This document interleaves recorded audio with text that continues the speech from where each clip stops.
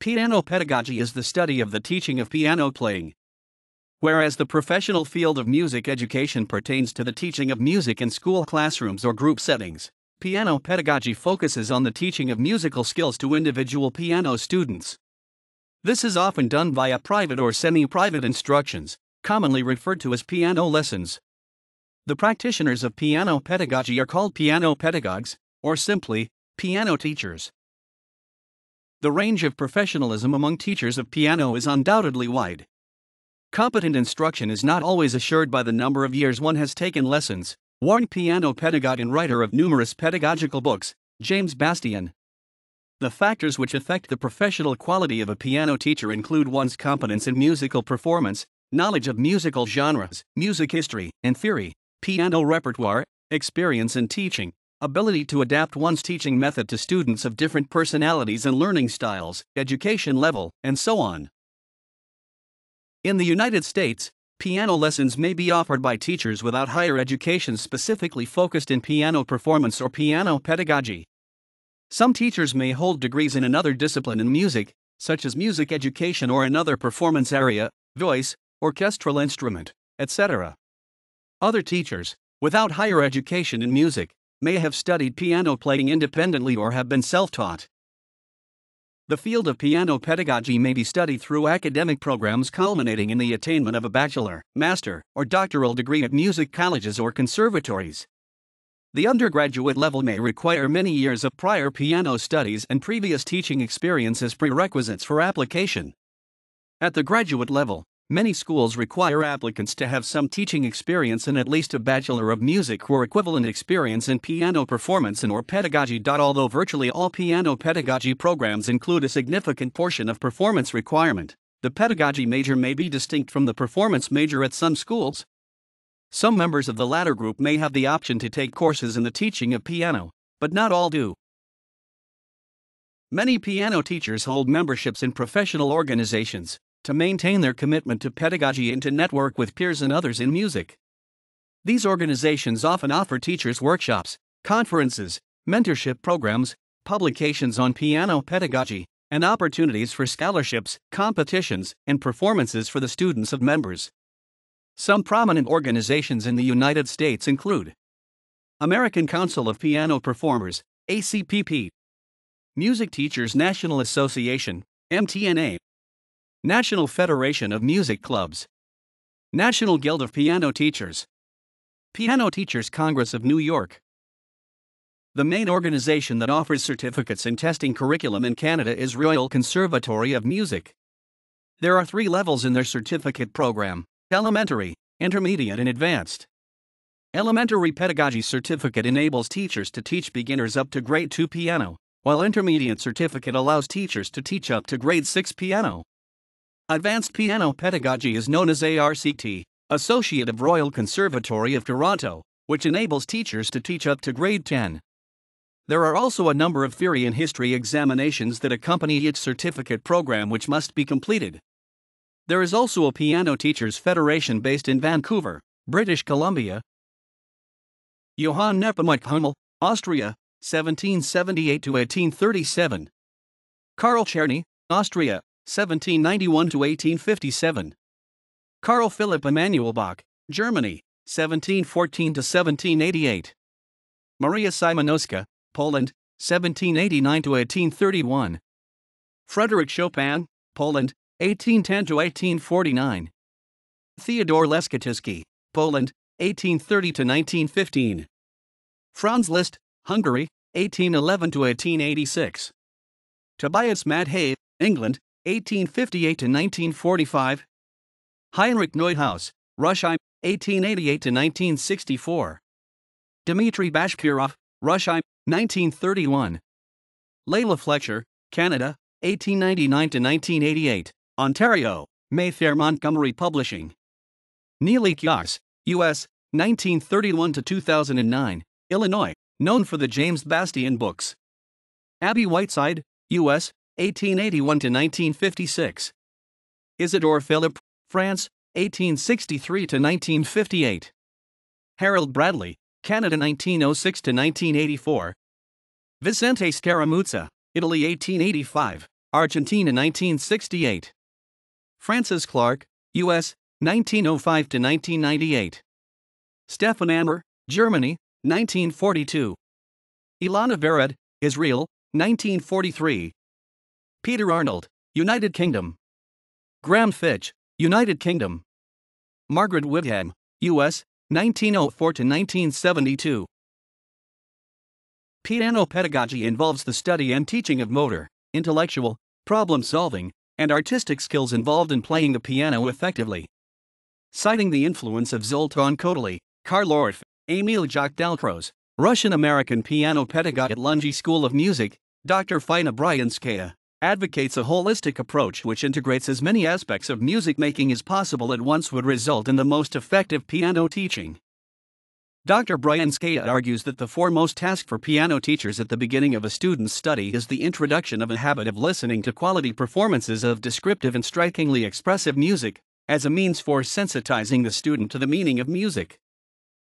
Teaching rhythm is important for the student to be able to learn a piece accurately, and also to confidently perform a practiced piece. Developing an internal metronome plays a significant role when teaching rhythm.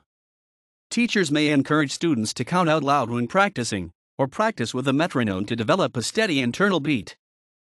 Learning to read music is a critical skill for most pianists. There are generally three approaches to teaching students to read music, although combined approaches are increasingly common. The middle C method, a single note identification method, was the most commonly taught method through the 20th century. It was introduced by W.S.B. Matthews in 1892 but popularized by Thompson's Modern Course for Piano, 1936. Middle C teaches positions relative to the middle C. In other single note identification methods, other notes might be used. The intervallic method, developed by Frances Clark with her Time to Begin, 1955, curriculum, teaches recognition of patterns and ABS landmark notes. The multi key method, developed by Robert Pace and published in 1954, teaches students all major and minor keys fairly quickly.